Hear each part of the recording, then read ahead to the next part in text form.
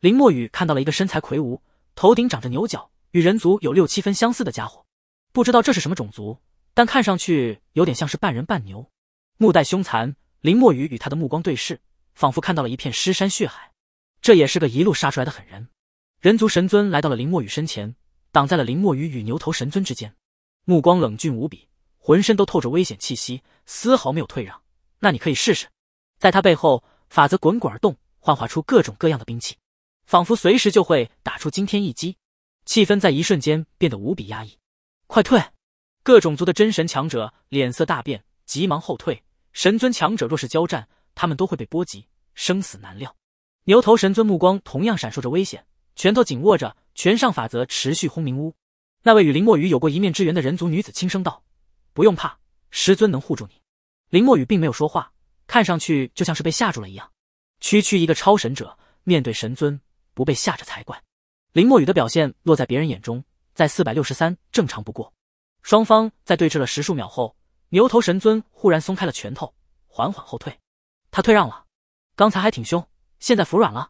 林墨雨心中微惊。在这一刻，他看到了大世界中人族的强势。正如安塔瑞斯所说的，在大世界中，人族也是一个强族，不比任何一个种族差。现在看来，还真是如此。牛头神尊在后退了百米之后，传来灵魂之音：“既然出来的是你们人族的小家伙，那就让你们带走吧。”这也算给了自己一个台阶下。神尊总是要面子的，林墨雨能理解。我们走。人族神尊低喝一声，大手一挥，卷起林墨雨，急速离去。在飞出了数万里后。人族神尊停了下来，手中扔出一个光团，光团在星空中炸开，化作一条长约二十米的非洲。三人进入非洲之中，非洲瞬间化作一道流光，消失不见。非洲在星空之中急速航行，瞬息万里，速度之快远超亡灵之翼。可即使如此之快，在非洲内看去，外面的星辰变化依旧缓慢，就像是没有怎么动过似的。林墨雨不禁在心中感叹：大世界不愧是大世界，果然与小世界完全不同。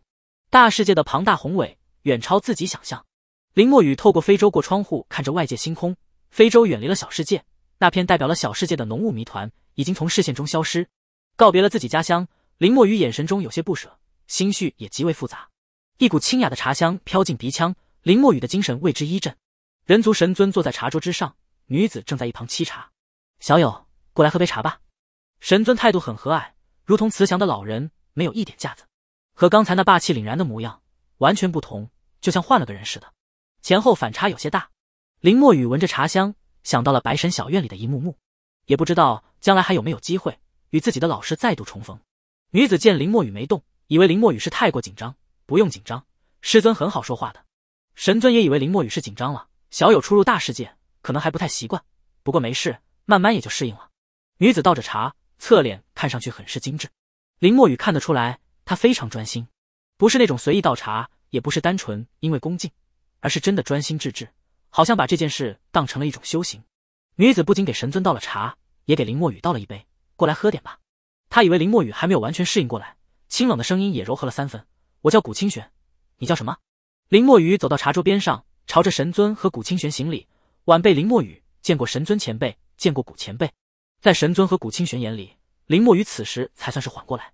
这种情况他们见得多了，不觉得有多奇怪。神尊面带微笑，老夫名号叶枫。古清玄微微一笑，不用这么拘束。不过你现在这样也正常，以后就知道了。林墨雨早就适应过来，只不过他不太说话，所以才让别人产生误会。叶枫神尊，林小友能从小世界走出来，确实是难得一见的天才。当日清玄在小世界中巧遇小友，回来就和老夫说了，小友是难得一见的人才，还把接引玉佩给了小友，是以此次老夫才能感应到。前来接应。听到这里，林墨雨算是明白，原来叶枫神尊和古清玄能及时出来，都是因为那块接引玉佩。林墨雨取出玉佩，正面刻着一座山清水秀的山谷，背面则是一个玄字。玉佩正好对上了古清玄的名字。林墨雨问道：“如果前辈没有来，晚辈会怎么样？”叶枫神尊带着慈祥的笑容：“也不会怎么样。你刚才也看到了，在那些人里，也有我们人族强者存在。众目睽睽之下，别的种族不敢对你怎么样，最多给你点下马威。”吓唬你一下，若是真对你了手，会招来我们人族的报复，毁上几颗大星是再正常不过的事。毁上几颗大星，叶枫神尊说的轻描淡写，不带一丝杀气。但林墨雨有种心惊肉跳之感，他知道，所谓大星，就是一颗颗星辰，在星辰之上可能生活着亿万生灵。人族报复，动辄毁灭星辰，这种报复未免也太过狠了。古清玄轻声道：“大世界不像小世界，如果对别人不够狠，那别人就会得寸进尺，到时候受到的损伤只会更大。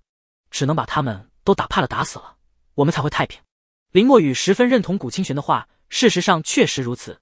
想在残酷的世界中生存下去，对内要团结，对外要行雷霆手段。林墨雨已经知道，如果刚才叶风神尊没来，自己或许会被威吓一番，但是并不会有生命危险。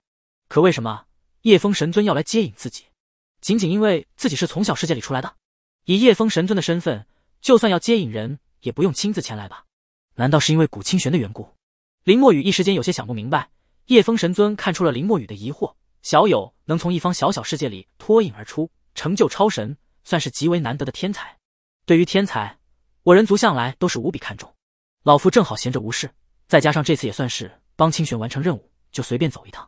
从叶风神尊的话中，林墨雨听到了“任务”二字。古清玄有任务在身，而完成任务就是要接引自己，事情透着有些古怪。而且，为什么叶风神尊要隔绝大世界法则对自己的洗礼？同样让他不解。第八百七十七朱雀星域第九十八号星系，非洲外是斑斓流光，原本的星空已经消失不见。这种画面和传送时的画面十分相似。叶风神尊的非洲拥有类似于传送阵的能力，可以在亚空间里急速穿梭，短时间内就能到达非常遥远的地方。出入大世界，直接就接触到了神尊级的人物。而且这位神尊连同他的弟子都对自己表达出了极强的善意。种种情况让林墨雨十分疑惑，甚至心中生出警惕。不过想想自己在刚转职不久就遇到了白衣远，似乎有几分相似。古清玄一路上给林墨雨解释着。终于让林墨雨逐渐明白过来，古清玄确实是有任务在身，要从小世界接引一个天才过去。这位天才天分越高，他得到的好处也就会越大。或许是因为缘分，古清玄遇到了林墨雨，然后就挑中了林墨雨。为了保证能顺利完成任务，古清玄不惜请了叶风神尊亲自来接林墨雨。至于叶风神尊为什么出手阻断了大世界法则的洗礼，其实原因也很简单：每个从小世界出来的人都会享受一次大世界法则的洗礼。在洗礼中，灵魂可以增强，术法可以增强，天赋也可以增强。可往往刚踏入大世界的人还处于懵逼茫然状态，并不能百分百消化大世界洗礼带来的好处，甚至会浪费掉一部分好处。所以，叶风神尊以神尊为例，为林墨雨的大世界洗礼按下了暂停键。等到林墨雨完全适应了大世界，再进行洗礼，那样获得的好处会更大。古清玄轻声道：“其实我是有私心的，我所接的是神城中的连环任务，你的天赋好坏。”只是任务的第一环，若是将来你能进入神城，甚至踏上人族神路，我就能获得更多的好处。他很大方自然的把自己的私心说了出来。简单来说，林墨雨将来取得的成绩越好，他得到的回报也就越多。从他的话语中透露出了两个信息：一是神城，二是人族神路。这两个地方听着就很不凡。林墨雨问道：“神城和人族神路，能和我说说吗？”他对大世界里人族的情况一无所知，在沿途上也是以听为主，很少说话。即使说话也是十分谦逊，丝毫没有以自己是天才自居。能像林墨雨这种从小世界脱颖而出的人，几乎都是天才，很多都傲气的不行，一副天老大我老二的模样。在叶风神尊漫长的生命中，这种人见得多了。对于林墨雨这种态度，叶风神尊以及古清玄都比较喜欢。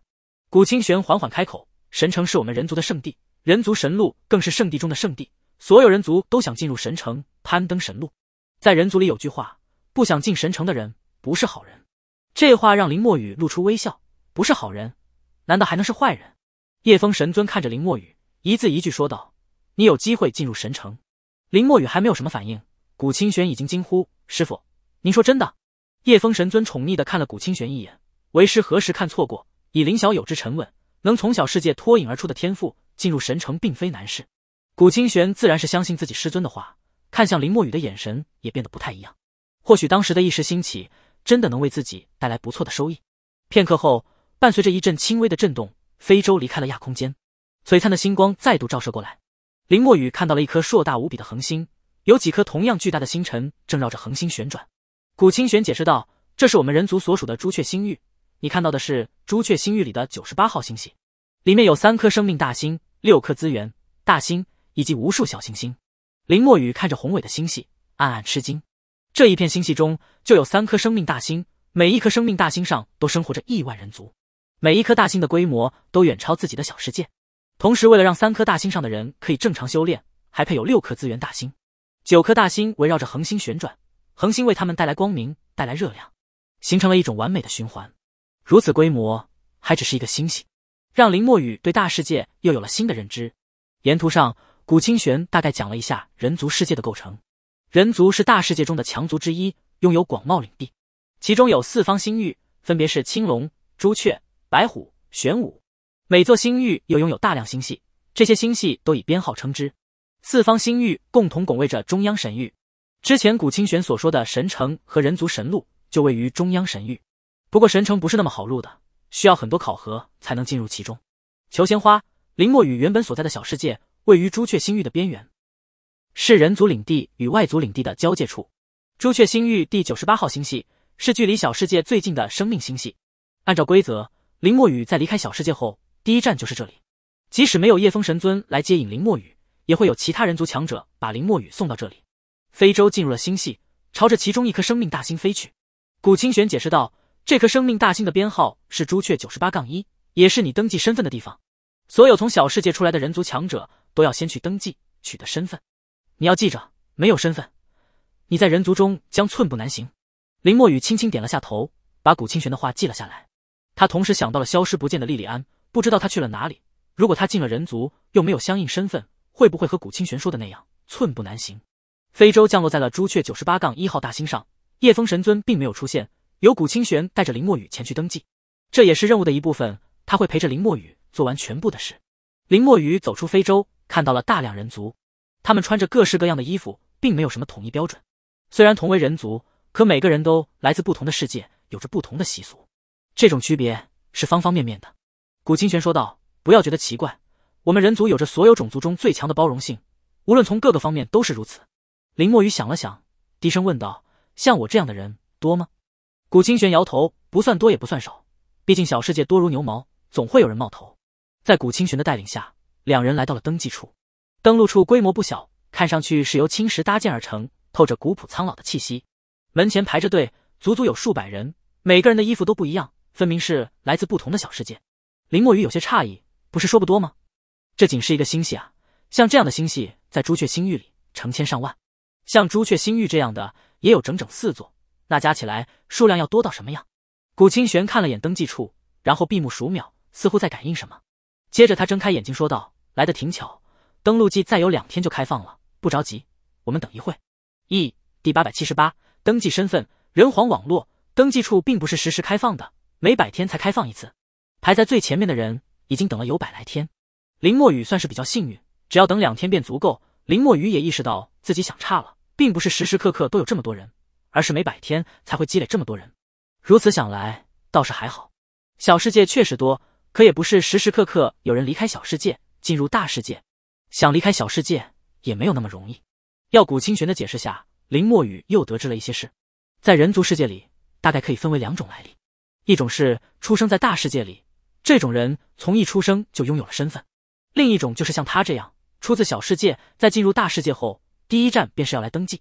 人族中的强者在各个小世界外面都有过布置，只要有人出来，就会有人过去接引。四六三，这样接引也是有奖励的，能获得收益，所以这种活有很多人抢着干。像自己这种，因为夜阑神尊出手，没人敢有异议。这次奖励自然归古清玄所有。林墨雨也看到排队的那些人边上。都有人相陪，那些相陪的，就是做接引任务的人。人族内部有一套十分成熟的体系，想到了方方面面，十分完善。如此想来，自己能在小世界里遇到古清玄，也算是一种缘分了。排队的队伍很安静，没有人说话，有不少人目光中带着好奇，打量着四周，也有人就地打坐，似乎正在修炼。只要能从小世界里出来的，无一不是天才，他们都不愿意浪费时间。林墨雨曾经也是如此。不浪费每一分时间，抓紧一切时间来提升自己。在近几年，林墨雨才缓了下来，让心境变得更加缓和，也变得更加沉稳。两天时间一晃而过，登记处的大门缓缓开启，所有等待多日的人一个个都打起了精神。百日时光对于超神者来说，其实并不算多漫长。一次修炼，一次法则的领悟，就不止这么点时间。队伍一点点地向前移动，登记的速度并不是很快，又过去了差不多一整天的时间，才轮到林墨雨。古清玄陪着林墨雨进了登记处，登记处里的设施出奇的简单，除了一张大桌子外，就是一座复杂而庞大的阵法，再没有其他。桌子后面，一人半躺半坐的倒在那里，散发着懒洋洋的气质。他看上去有些漫不经心，模样也极为随意。不止气质如此，说话的声音也是如此有气无力。但场中却无人敢轻视他。这位懒懒的人身上散发着强大的气息，已经超过了真神。这是位神王，远比真神强大的存在。古清玄带着林墨雨来到桌前。林墨雨来自地朱雀号小世界，每个小世界同样有一组编号，朱雀号就是林墨雨所在小世界的编号。为了方便管理，除了少数几座重要的星系，绝大部分星系大星都是用编号进行表示。其中，朱雀代表了朱雀星域，九十八代表了朱雀星域下面的第九十八号星系，后面的数字则是小世界的编号。林墨雨出来的小世界是朱雀星域九十八号生命星系中的三三四四号小世界。从编号就能看出，古清玄说的没错。这样的小世界多如牛毛。工作人员抬起头看了林墨雨一眼，指了指旁边的阵法：“进去吧。”林墨雨当即走到阵法中心，阵法闪闪发光，运转起来。一道道光照映在林墨雨身上，林墨雨整个人都在发着光，瞬间变成了大灯泡。古清玄已经和林墨雨说过阵法的作用，林墨雨在阵法中泰然自若，一动不动。阵法会检测身份是否真正的人族血脉。在很早以前，曾经发生过异族潜入的事。有异族冒充小世界出来的人族，最终进入了人族神城。那名异族人在神城中进行破坏，幸好及时被发现斩杀。后来，所有从小世界里出来的人都必须通过阵法检测。阵法除了会检测林墨雨的身份，还会记录林墨雨各个方面的信息。十几分钟以后，阵法的光芒逐渐减弱，林墨雨从阵法中走出，回到桌前。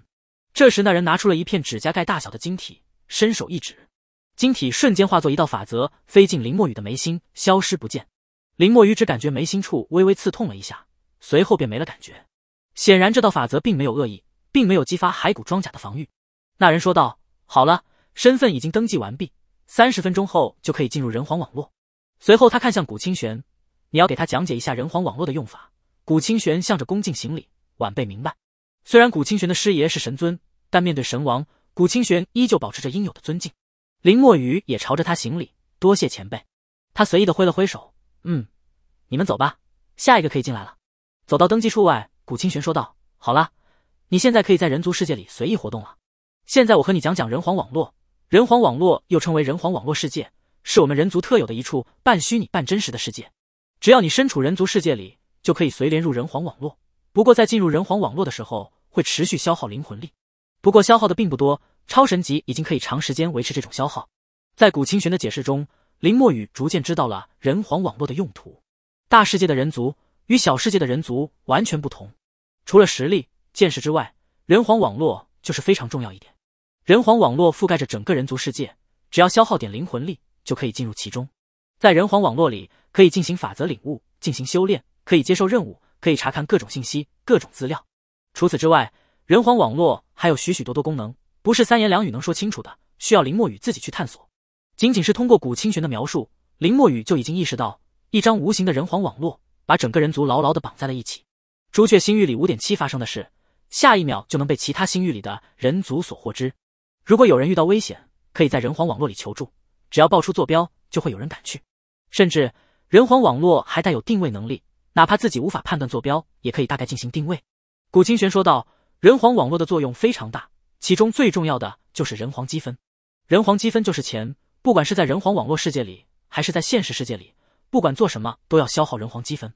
至于如何赚取人皇积分，等你进了人皇网络，自然就会知道。我就不浪费口舌了。等古清玄把人皇网络的大概功能讲完，时间已经过了半小时。林墨雨感觉自己的意识忽然连接到了一个莫名的世界里，眼前出现了一片虚空，眼前的画面迅速凝实，从虚幻在转眼间就变得真实。第八百七十九人啊，走了一批又一批，他发现自己身处一片广场之中。这片广场无论从建筑还是规模，都和现实中自己身处的广场一模一样。微风徐来，拂在脸上，也同真实的世界一模一样。伸手、抬脚、起跑、跳跃、飞行，也和真实的世界完全一样。甚至林墨雨能感受到自己的法则、自己的力量、自己的术法。人皇网络十分神奇。眼前忽然光芒一闪，古清玄出现在了眼前，他也进入了人皇网络。古清玄脸上戴着一副面具，隐藏了容貌。不过发型和衣服都没有变化，林墨雨一眼就认了出来。古清玄取下面具，在人皇网络中，每个人的形象都和现实中一模一样，不过可以选择不允许别人查看自己的信息，再换一下衣服，戴个面具就能隐藏身份了。古清玄很尽职为林墨雨介绍着人皇网络，林墨雨迅速对人皇网络熟悉起来。人皇网络中有修炼场所，有法则领悟场所，还有任务中心、交易中心等等，各种功能应有尽有。似乎只有你想不到，没有他做不到。去哪里都可以直接传送，只需二十五要一个念头就行，十分方便，完全可以从朱雀星域瞬间抵达其他星域。唯一的问题就是做什么事都要消耗人皇积分，在现实世界中没有身份信息将寸步难行，那么在人皇网络中，若是没有积分，也将是寸步难行。目前林墨雨还处于新手期，每位新人都会拥有初始的一百积分，一百积分不算多。不过足够林墨雨用来熟练人皇网络。古清玄带着林墨雨走了修炼馆、任务中心、交易中心，甚至还有比武场。在逛了一圈后，古清玄说道：“好了，我们先离开网络，我带你去一个地方。”林墨雨心中一动，从网络中脱离出来。人皇网络十分神奇，可以完成大部分事，可也不能完全替代现实，有些事还是只能在现实世界中完成。古清玄带着林墨雨来到了一座传送阵前，在支付了一些积分后，开启了传送。大世界的传送阵比起小世界的传送阵要强得多，瞬间跨越数十万公里，带着林墨雨直接离开大星，出现在星空之中。若是用小世界的传送阵，这数十万公里怕是要传送好一会。在星空之中，距离恒星极近的地方漂浮着一座巨大的宫殿，这座宫殿之宏伟，林墨雨前所未见。宫殿之高超过万米，宽度至少在十万米之上，如同盘踞在星空之中的一座堡垒，恢宏的气势扑面而来，甚至让林墨雨。有种窒息感，在宫殿的正前方，五个巨大光字在星空中熠熠生辉。人族战神殿，五个大字散发着雄浑的气息。林墨雨本能的看去，只感觉五个大字瞬间在眼前放大，化作一张大掌直拍而下。大掌化作灵魂攻击，进入了灵魂世界，重重的拍在林墨雨的灵魂世界上。灵魂世界轰然作响，已经达到三品巅峰的灵魂世界光芒闪耀，巍然不动。半琉璃半水晶的外壳挡住了巨掌的拍击。林墨雨感受到灵魂巨掌并没有恶意，若是自己抵挡不住，也不会伤到灵魂，最多就是让自己灵魂震荡一下，结果就是脑袋晕一下，不会有大影响。可是对自己灵魂巨掌并没有什么作用。灵魂巨掌在攻击无效之后，化作无数符文出现在灵魂世界外面。林墨雨能感受到这些符文中蕴含着某种法则，当即开始领悟起来。他完全没注意到身边的古清玄眼含笑意，好像在看戏一般。他很清楚。接下来会发生什么事？所有第一次来到人族战神殿的人都会被这五个大字来刺下马威。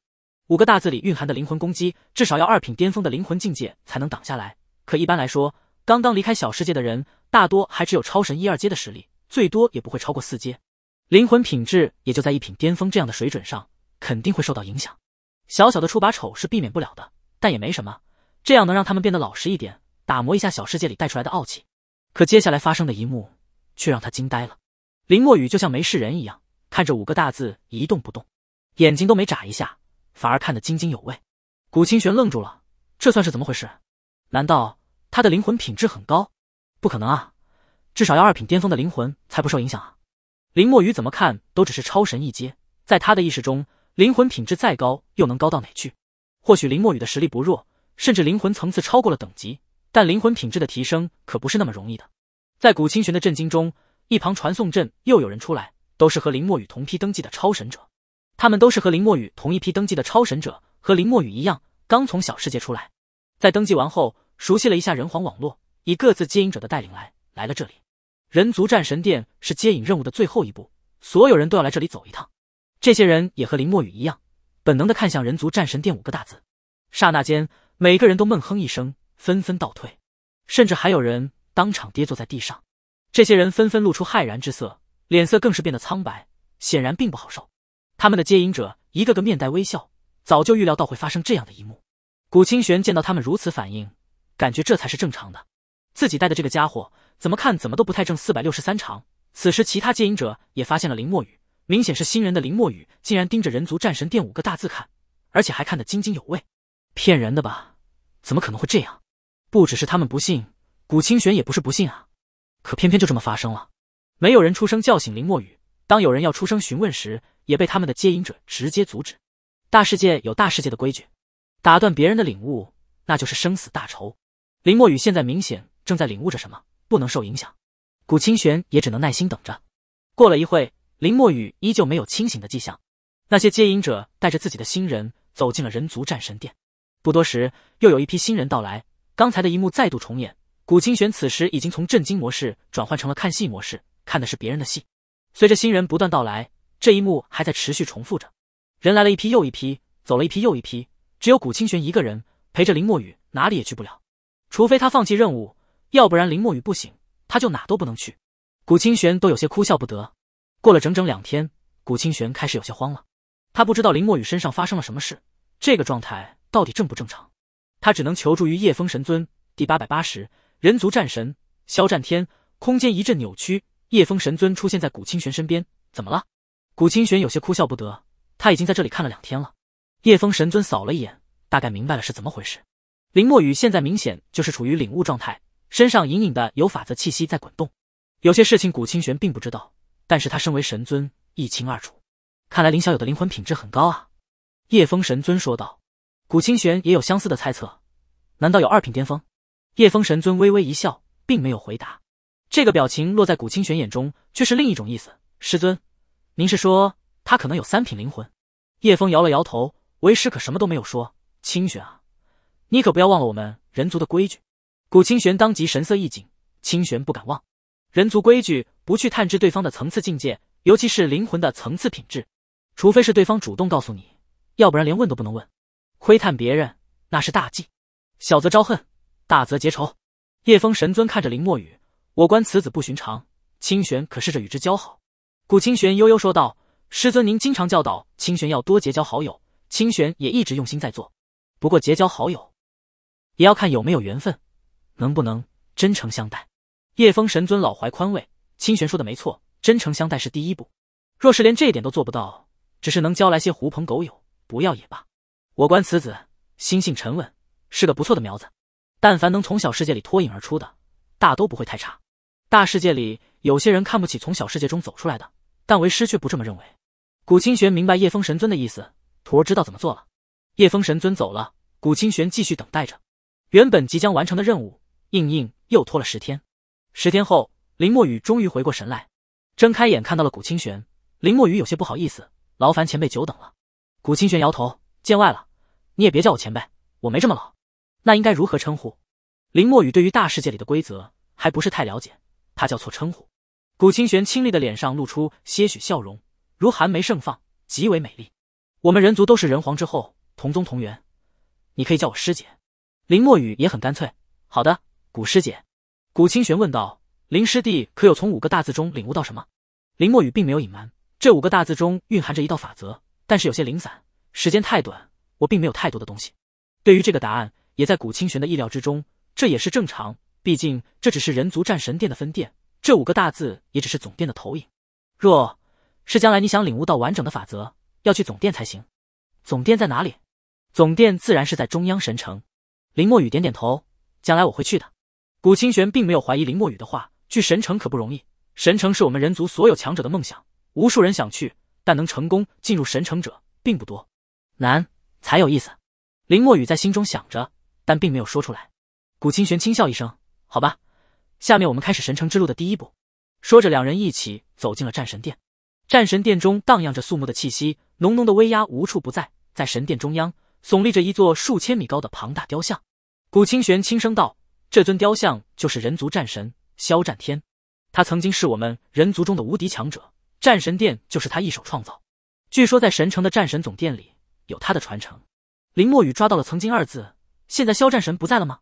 古清玄不敢肯定，应该还在吧，但已经有很久没有出现了。无敌强者这种层次的存在，怎么可能轻易陨落？或许就在某个地方闭关，追求更高的境界。人族世界里的琐事，对这种层次的强者来说，已经没有意义了。他们追求的是更高的层次，更强的力量。古清玄带着林墨雨来到了战神雕像面前，恭敬的行礼。这是每一位人族都要做的事。曾经人族遭遇过灭族之危。就是肖战天以无敌之姿救人族于水火，为人族争下了万世太平的基业。林墨雨也和古清玄一样，对着肖战天恭敬行礼。不知为何，自己在行礼的时候，总感觉雕像在注视着自己。林墨雨没有找到感觉的源头，想了想，觉得可能是自己的错觉。行完礼后，二人走向战神殿的深处，滴答，滴答，脚步声在殿中回荡，整个战神殿无比的安静。越靠近深处，威压就越来的浓重。在这里，风都消失了，除了脚步声，什么声音都没有。古清玄不再说话，改用灵魂之音。等一会，战神殿会对你检测，他们会记录你的骨灵，记录你的灵魂，对你的修炼资质进行评分。你放心，战神殿不会窥探你的秘密，所有的检测除了你自己，没人知道。外人能看到的只有你的最终评分。林墨雨明白古清玄的意思，放心，我不会做保留的。古清玄说道：“等一会在测试之前，你要先进行大世界法则的洗礼，这样才能获得最高的评分。评分越高，获得的好处就越大，将来进入神城的机会也就越多。评分一共有四档，从高到低分别为极、优、良、差，代表了极品、优秀、良好、差强人意四个等级。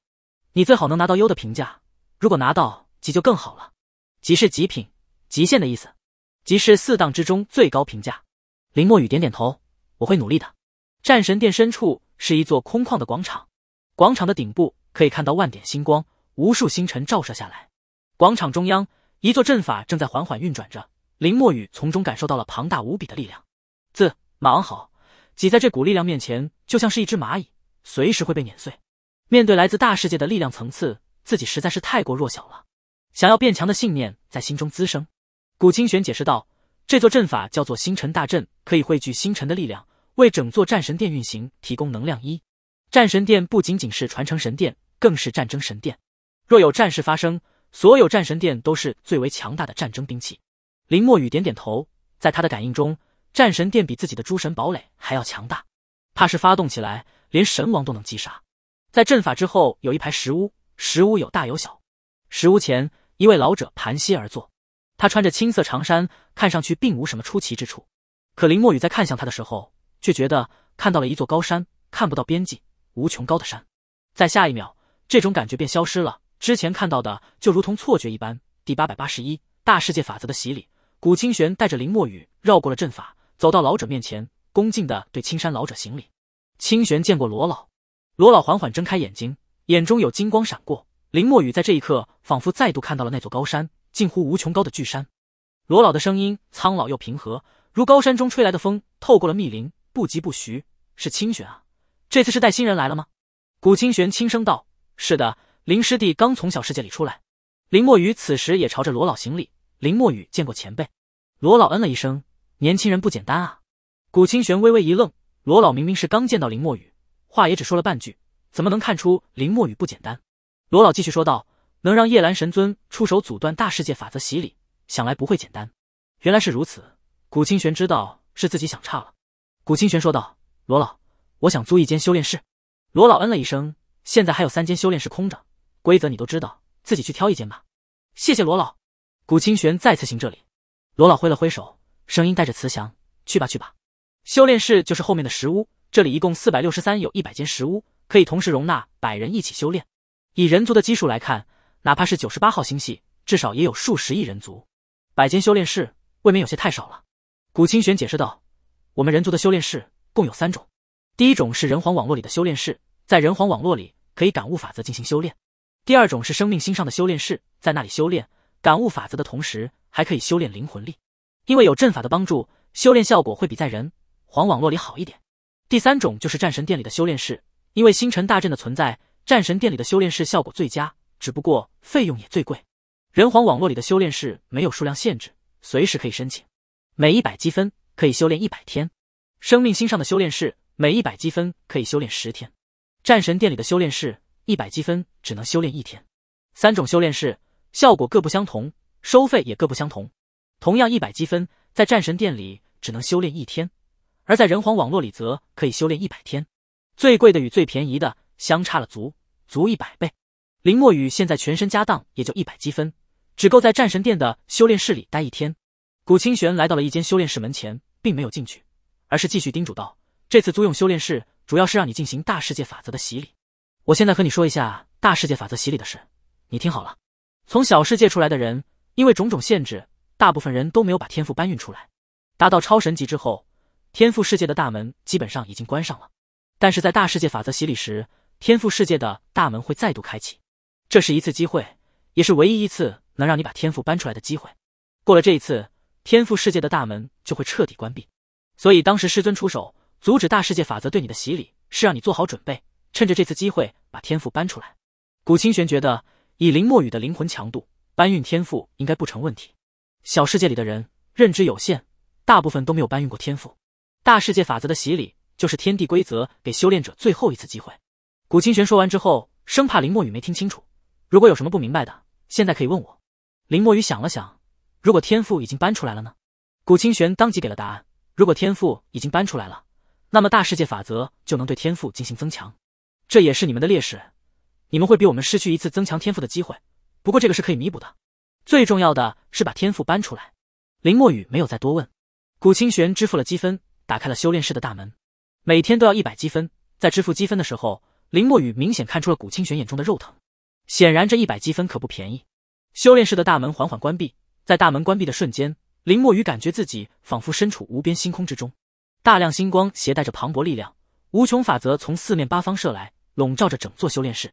这些法则虽然还没达到具现化的程度，但已经十分清晰。在这里感悟法则，事半功倍。需要一百积分才能使用一天的修炼室，物有所值。若是拥有足够的积分，能一直在这种环境下修炼，对法则的领悟速度将会十分惊人。林墨雨还是第一次真正意义上感受大世界法则，比起小世界里的法则。大世界法则更加的复杂，更加的繁多，也更加的强大。林墨雨深深的吸了口气，随后静下心，盘膝而坐，手指捏出一道符文，伴随着一声轻响，叶风神尊对林墨雨所做的隔离，在这一刻崩解。对大世界法则的隔离是叶风神尊做的，解除的方法一早就交给了林墨雨，只要林墨雨需要，随时可以解除。隔离解除，林墨雨再次暴露在了大世界法则之下，大世界法则的洗礼正式开始。林墨雨感觉到有一股难以想象的伟力进入了自己的灵魂世界，瞬间穿透了灵魂世界的防御，直达灵魂本体。灵魂世界已轰轰作响，灵魂本体在大世界法则的沐浴下，感觉十分舒服。天赋巨树反应极为剧烈，它开始肆意吸收来自大世界的力量，它开始急剧成长，变得更加粗壮。天赋巨树越庞大，带来的天赋就越强，同时可以更加快速的提升林墨雨的灵魂力量。古清玄说，大部分从小世界出来的人，会比他们这种大世界里的人。少一次增强天赋的机会，林墨雨知道自己不在此列，自己的三个天赋早就搬了出来，并且融为一体，化成天赋巨树。此时在大世界法则的洗礼下，正在迅速成长。林墨雨很想知道，经过大世界法则的洗礼后，自己的天赋能强到什么地步。忽然间，一抹璀璨金光从灵魂世界的深处爆发出来，这抹金光来得及无比突兀，彻底照亮了灵魂世界，连大世界法则的光辉都被它掩盖下去。神州鼎。林墨雨低喝一声，自从得到之后，便再没有动表的神州鼎，现在竟然突然动了。神州鼎从灵魂深处飞来，来到了天赋巨树边上，把大量金光倒在了天赋巨树之上。金光如水，浇灌着天赋巨树，让天赋巨树成长得更快。这些金光就是神性之力，浓郁无比的神性之力。天赋巨树发出欢快的声音，他显然十分喜欢神州鼎带来的神性之力。这是天赋巨树受到的第二次浇灌。来自大世界法则和神性之力的共同浇灌。二四第八百八十二天赋增强承载法则，天赋巨树的每一次浇灌都预示着一轮新的成长。成千上万根枝条垂下来，无比茂盛。林墨雨能感受到从天赋巨树上传来的喜悦与亲呢。他是自己的天赋，也是自己的孩子。一条条柳枝缠绕上来，把灵魂本体团团包围起来。接着柳枝上燃烧起熊熊烈焰，紫色的火焰再次焚烧灵魂。灵魂感觉到了剧烈的疼痛，不过林墨雨已经习惯，这么点疼痛并不算什么。在疼痛中，灵魂中的杂质再度被炼化、被剔除，灵魂变得更加敏锐，也更加强大。同时，林墨雨还感受到了有大量神性之力从柳枝上传递过来，进入自己的灵魂之中。擦！灵魂之中忽然响起了轻微的碎裂声，林墨雨同时感觉到浑身一轻，仿佛有枷锁碎了。紧接着，林墨雨看到了自己灵魂的胸口位置。出现了一个白点，白点迅速在眼前放大，赫然就是一道复杂无比的符文。符文在闪烁着，持续不断释放着诅咒的力量。大世界符文的诅咒，林墨雨不是第一次见到大世界符文，但自己体内的大世界符文还是首次见到。他一眼就看出自己的这道符文只是真正大世界符文的衍生品。可不管怎么样，他的力量都来自大世界符文，拥有普通人难以抵挡的力量。符文的诅咒一直影响着自己，压制着自己的术法威力。压制了骷髅们的强度，让自己的术法无法承载法则。现在符文上出现了一条裂痕，这道裂痕让诅咒的力量大幅度下降。林墨雨心领神会，他当即尝试着让术法去承载法则。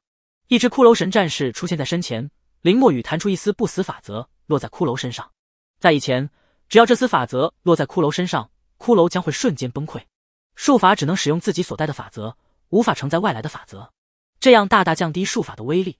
但这次骷髅并没有崩溃，他吸收了林墨雨弹出的不死法则，身上出现了灰白色气体。骷髅的气息暴涨，瞬间突破了以前的极限。表面看上去，骷髅的等级依旧是超神一阶，这是因为林墨雨的灵魂层次就是超神一阶，骷髅不可能超过这个极限。但是实际战力却非如此，不死法则为骷髅带来了更强、更致命的攻击力。不死法则中死的一面彻底的爆发出来，每一次攻击都将带有浓郁死亡气息。骷髅神战士犹如一尊死神。不死法则同时也为骷髅本身带来了强大的恢复力，即使没有巫妖将军，骷髅本身也将拥有极强的恢复力。不死法则的死与生在骷髅身上完美体现出来。我生，你死，这就是骷髅神战士带给林墨雨的感觉。接着，林墨雨又做了几次实验，他现在掌握着百分之二的不死法则，但术法只能承载其中的一半。也就是百分之一，诅咒的力量依旧存在，只是减弱了。可即便只是如此，也足够让他感到喜悦。诅咒的力量被瓦解的一部分，令得术法可以承载法则，他的实力大幅度增长。他相信，总有一天，诅咒的力量会彻底被解除，到时候自己将能发挥出术法的全部威力。修炼室外，古清玄眼中有些担忧，他担心林墨雨不能成功把天赋搬出来。若是没有天赋加成，那么在接下去的考核中，评分必然不会太高。评分不够就进不了神城，未来发展也会有限。虽然这并不会影响自己与林墨雨之间的关系，他也不会因为小事林墨雨，依旧也会把林墨雨当成朋友。可至少也会有点小小失望。小清玄是在担心吗？罗老的声音忽然在耳边响起。古清玄见到罗老正似笑非笑的看着自己，古清玄明亮的大眼睛转了一下，带着笑意跑到罗老面前：“您是不是知道什么？”罗老眼中带着慈祥的笑意：“不用担心，他的天赋搬出来了。”而且他的天赋不弱，罗老坐镇战神殿，对战神殿里的事都能有所感应。同样是接受大世界法则洗礼，有没有顺利搬出天赋，这点还瞒不过他。听到罗老的话，古清玄的心总算是放下。只要天赋出来了，等一会的考核成绩也不会太差。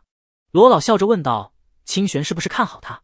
古清玄点点头：“我第一次见到林师弟是在小世界里，当时他给我的感觉就不太寻常，我还把接引玉佩给了他。”罗老明白古清玄的意思。他应该不会让你失望的，希望如此吧。我能不能进神城，还要看他了。古清玄悠悠说着。裘仙花、林墨雨的成绩好坏，关系到他获得的奖励，牵涉到他现在正在执行的任务。任务做得好，他就有机会进入神城。洗礼逐渐结束，神州鼎也停止了浇灌。此时的天赋巨树已经高达两百米，在根部有紫色火焰熊熊燃烧，万千柳枝中有金光在流淌。天赋巨树的根系已经不知道扎根到哪里。扎进了莫名虚空，不知去向。他不断吸收着能量，转化成精纯的灵魂力，送给灵魂。哪怕他进行修炼，只要灵魂层次提升上去了，灵魂力分分钟就能补充上来。在灵魂吃饱喝足后，多余的灵魂力就会散入灵魂世界，让灵魂世界变得更为强大。林墨雨查看着自己的灵魂世界，在灵魂世界之外，有一层坚固的外壳，就像是铠甲，保护着整个世界。外壳绝大部分已经变成了透明，如同水晶一般。只有一小部分还是琉璃模样，灵魂本体上金色只剩下一小部分，绝大部分已经变成了玉色。玉色灵魂，水晶世界。只要达到这一步，就是四品灵魂，一品超神，二品真神，三品神王。四品灵魂就是成就神尊的基础，也是成为神尊最难的一步。无数人被卡在了这一步，千万年难以寸进。林墨雨仅以超神一阶实力，近乎达到四品灵魂的境界，说出去，鬼都不会相信。洗礼结束，林墨雨查看了自己的天赋：至强二阶，术法增幅两百倍。亡灵军团所有成员共同承担伤害，共享生命与精神，所受到的伤害减少两倍。亡灵军团级主人在受到致死伤害时会获得新生，瞬间恢复至巅峰状态。所有术法重置冷却，每五十秒可新生一次。天赋成长到了二阶，术法的增幅直接从一百倍增加到了两百倍。亡灵军团所要承受的伤害也从一倍增加了两倍。如此一来。亡灵军团的强度在原先的基础上提升了足足四倍。林墨雨本身对元素和物理类的法则减伤，直接从一万倍跳到了四万倍。这种程度的减伤，林墨雨觉得就算是真神五阶也很难再杀死自己。全面新生天赋的冷却又少了五秒，变成了五十秒，这也算是不小的提升。自己的天赋太强了，强到可怕。安塔瑞斯说：“绝对不能把自己的天赋说出去。”事实上也确实如此。一二四第八百八十三。很多时候说不如做。林墨雨收摄心神，再次恢复到云淡风轻的模样。古清玄等在门口，见林墨雨出来，立即问道：“怎么样？天赋搬出来了吗？”虽然罗老已经给了答案，但古清玄还是想听林墨雨亲口回答。林墨雨点点头：“搬出来了，天赋当然搬出来了，只不过不是刚才搬的，搬的也不是一个。”古清玄清丽的脸上露出笑意。搬出来了就好。现在我们去做最后的测试。记着我和你说过的，最后的测试你要全力以赴，仅可以达到高评价。如果你将来想进入神城，这一点非常重要。神城只收天才，任何差一点的神城都不会要。而且林墨雨取得的成绩越好，古清玄这位接引者的奖励也就越好。刚才为了让林墨雨接受最好的大世界喜则喜礼，古清玄已经投资了一百积分。要是林墨雨的乘四六三记不好，那就亏了。林墨雨把古清玄的话记在心里。神城，他是一定要去的。一路上已经听古清玄无数次提起神城，那可是所有人族修炼者最向往的地方。古清玄也想去神城，他正在努力着。古清玄带着林墨雨朝最后测试的地方走去。不一会，远处传来说话的声音。林墨雨看到一群人正聚在那里。在进入战神殿后，一路都是安静清冷，只有这里相对热闹一点。林墨雨认出那些人，就是在登记处外排队的人，其中有像自己一样的新人。也有像古清玄一样的接引者，林墨雨的到来立即吸引了许多人的注意。当时在战神殿前，林墨雨注视五个大字的模样都被他们看在眼里。有人眼中露出一丝不服气。同样是小世界走出来的人，为什么林墨雨能瞪着五个大字看，而自己不行？难道自己不如对方？同样都是超神级，同样都是从小世界走出来的，一个个都是小世界里的天才，傲气无比。林墨雨无视了他们的眼神，走到了队伍最后面，安静等待。考核是在一间封闭的屋子里进行，从外面什么都看不到，只有在考核结束后才会得到一个最终评分。至于过程是严格保密的，据说除了战神肖战天本人，谁都无法窥视，严密保护了考核者的隐私。古清玄指着考核屋子的旁边，你看那里有一枚星辰水晶，考核结束后，星辰水晶会发光，表示得到的成绩，白色代表差，绿光代表良，红光代表优，金光代表极。想去神城拿到做了的评价。那是最基础的，若想把握大点，那就必须拿到级。林墨雨忽然有些好奇，你测试过吗？古清玄并没有隐瞒，测试过了，成绩是级。古清玄能成为叶风神尊的弟子，其天资不用说，肯定是好的，拿到级等评价也属正常。不过连古清玄这样还没能进入神城，可见进入神城是有多难。这时星辰金亮了起来，透出一抹红光，只是红的有些微弱。古清玄解释道：“就算同样是优的评分，也有强弱。”光芒越浓重，说明同等级中评价越高。像他这种的，只能算是优下，优等里最差的。古清玄话音刚刚落下，顿时有个冰冷的声音传来：“再差也是优等，不知道你带来的人能拿到什么评价？”闻声望去，一个男子正朝着古清玄瞪过来，目光中带着不善。古清玄的话明显让他感到了不舒服。那人瞪着古清玄，一副要比比看的模样。古清玄淡淡说道：“那要试过才知道。”那人冷笑一声：“我记得你，当时我们一起。”接了神城任务，这么说来，我们还是竞争对手。古清玄回忆了一下，摇了摇头：“我不记得你了。”古清玄极为美丽，无论走到哪里都会惹人眼球，被人记住也很正常。再看那男子，虽然气息很强大，不比古清玄弱，但模样太过普通，属于路人。男子微微一滞，声音逐渐放大：“你会记住的，我叫盛高轩，以后我的名字会响彻神城。”他的话中充满自信。林墨雨暗自点头。虽然这家伙有些自负，同样也很有自信。想成为强者，自信是基础，坚定的信念、不屈的意志、不懈的努力，缺一不可。如果连自信都没有，谈何成为强者？古清玄只是淡淡一笑，不再说话。与人争论没有必要，有的时候做比说重要。这一点与林墨雨十分相似。林墨雨与古清玄相视一笑，各自明白对方所想。屋门开启，一个人走了出来，他气虚稍显虚弱。身上法则还在剧烈涌动，尚未平息。战斗是检验实力的最好标准，这话放在哪里都适用。在他出来后，另一个人站到了屋前，把手放在了星辰水晶上。星辰水晶微微一亮，投射出几个数字：九十八。接着屋门打开，他走了进去。古清玄解释道：“九十八是他的年龄，年龄也是考核的一部分。一般来说，同等实力的年龄越小，评分就越高。林墨雨能理解，同样是超神者，越是年轻，往往就证明天赋越高，潜力越大。虽不是绝对，可大多数情况下都是如此。超神者寿元从五百年起步，每升一阶，寿元就提升百年。九十八岁对超神者来相当年轻。林墨雨从几人的眼神中看到了一丝惊愕，他们显然是惊讶对方竟然会如此年轻，年不过百，不错不错。他的接引人十分满意。古清玄也低声，确实挺年轻的，能在百岁前达到超神，放在大世界里也属于中等了。林墨雨问道：“大世界里的人一般几岁能到超神？”古清玄思索了一下，这个不好说，相差很大。百岁前能达到超神就算不错，如果是八十岁前就能超神的，那就属于天才。据说神城里有些天骄，在五十岁之前就能达到超神。林墨玉雨想到了自己的小世界，在最危险的时候，世界之力复苏，能让一个普通人在几年内达到神级。但这种方法有点类似拔苗助长，对未来有损。大世界里的人必然不会这么做，所以能在五十岁达到超神，确实很强了。古清玄并没有问五点七林墨雨的年龄，反正一会就能知道，无需多问。三小时后，星辰水晶再次亮了起来，红光照亮四周。同样是优等的评价，但比刚才那人的红光更为明亮。优等，中偏上。他的摘引人忍不住高呼一声，十分兴奋，眼神中带变的骄傲出数分。能摘引到一个优等的人才，他能得到不少好处。虽然大家都是优，可也有强弱之分。其实人族完全是有能力进行细分的，但并没有进行细分。林墨雨大概能理解为什么不再进行细分，这只是暂时的评价，未来谁都不知道。若是真要细分，那大家以后就不用比了。就看谁的天资强的了，天资只是一方面，在实际战斗中还要看战斗经验、术法使用技巧等各方面的综合实力。